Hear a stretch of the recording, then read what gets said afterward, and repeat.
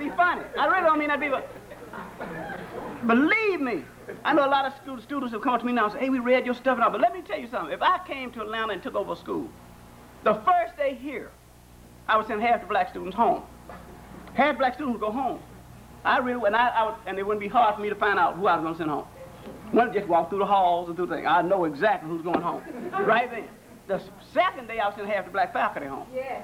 You see what I'm doing? the third day, I sent all the black administrators home. You know, uh, uh, uh, uh. And, and then we'll be about the business of, of teaching. Because I swear, I